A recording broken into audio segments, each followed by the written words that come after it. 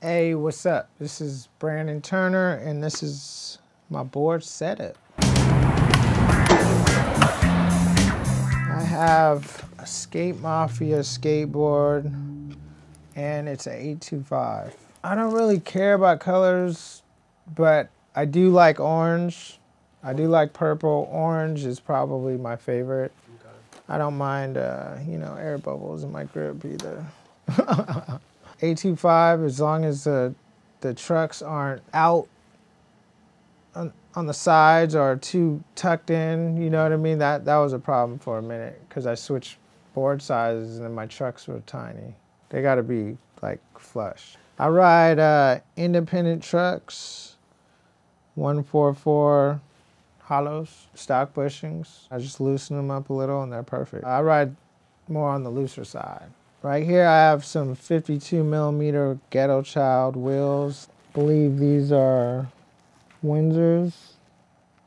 Yeah, Windsor James. Yep. Bearings I have Bronson, Speedco. Do you pop the shields off or leave the shields on? No, I leave the shields on. Okay. We- We ain't got time for all that. They they go, they go. See? I have this uh, Wes Kremer Paradox grip Mhm. right here. And for me, there has to be a line at the bottom. And the line goes from skinny and then it kind of like goes out. Because my board, my trucks always seem to like lean that way because of kickflips or whatever, right?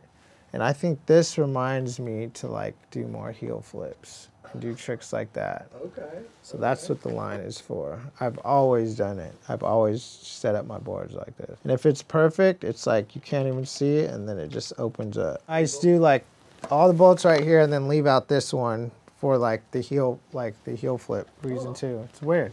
It's strange, huh? The front truck is the front truck and usually identify it with like the crooked grind mark.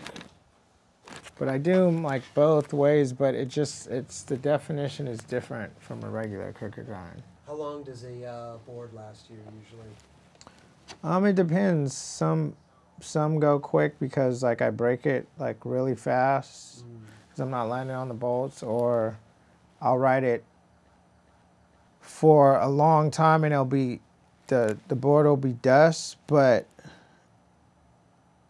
there's like that sweet zone to where like all the tricks work for like a day and then the next day it's not the same. When I set up the board and the grip, I don't use a file. And I got this from Chad Muska. He used to just like cut his whole board and then sand it down. So that's what I do. I just cut my board perfectly, as you can see. and then I sand it down. Right. So I never use a file. That's what it is. That's it, huh? Yeah. Okay. okay. Skate Mafia.